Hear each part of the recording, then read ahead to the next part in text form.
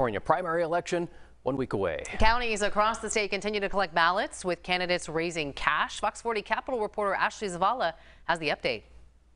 About a week out from California's primary election day, about 8% of ballots have been turned in. According to Political Data Inc.'s ballot tracker, 1.7 million mail-in ballots have been returned of the more than 22 million sent out. Turnout so far is heavily Democratic, with the party's registered voters accounting for 52% of ballots turned in. Voters in June will pick potential candidates for statewide offices, including the governor and attorney general.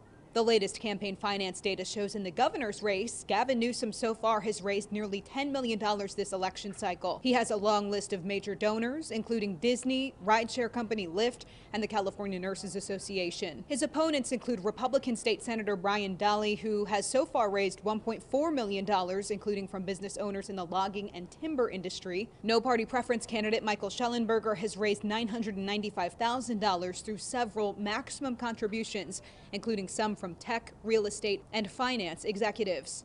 In the Attorney General's race, Newsom's appointee, Rob Bonta, has raised $5.1 million.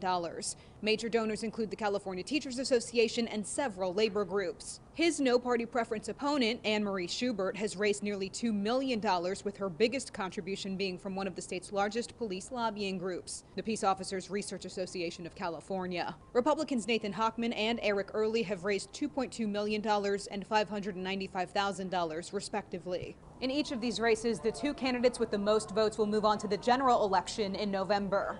In Sacramento, Ashley Zavala, Fox 40 News.